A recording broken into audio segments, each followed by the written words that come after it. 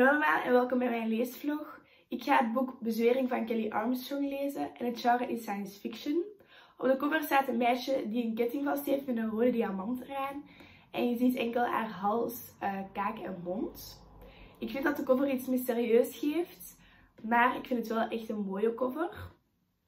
Ik denk dat het boek vooral spannend gaat worden, maar ook een beetje eng. Dat is wat ik kan afleiden van de achterflap, maar ik laat jullie snel weten wat ik er meer van vind.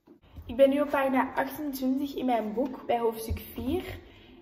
En dit is het moment waarop het hoofdpersonage Chloe naar het ziekenhuis wordt gebracht, omdat ze aan het hallucineren was op school en dingen zag die hier niet waren.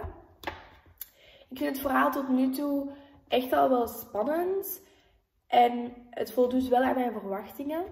Ik verwacht nu dat ze naar de instelling gaat waar op de achterflap over gepraat wordt. En um, ik ben zeer benieuwd wat er nog komt.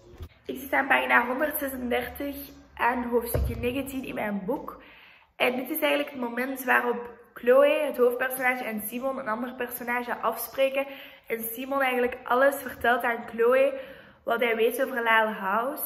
Het is dus eigenlijk een opvanghuis voor paranormaal begaafden.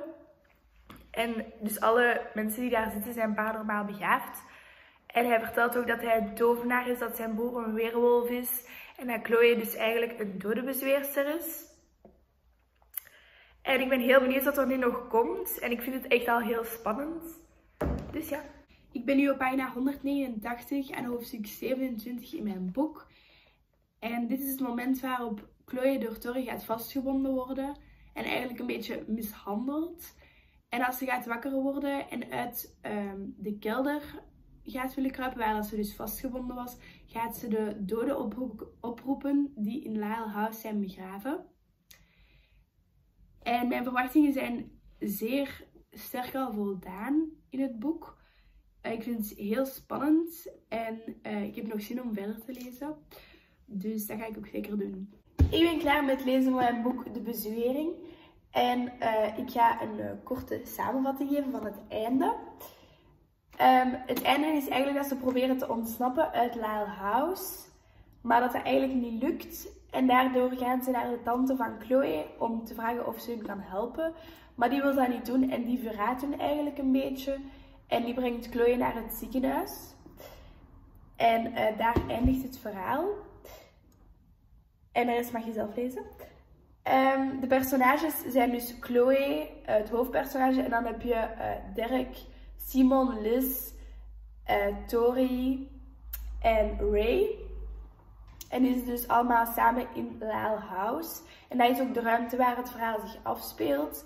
Dat is een opvanghuis voor uh, jongeren, zogezegd, met psychische problemen. Maar eigenlijk zitten daar dus jongeren met bovennatuurlijke krachten. En is het een soort van gevangenis en voeren ze op die jongeren dus experimenten uit.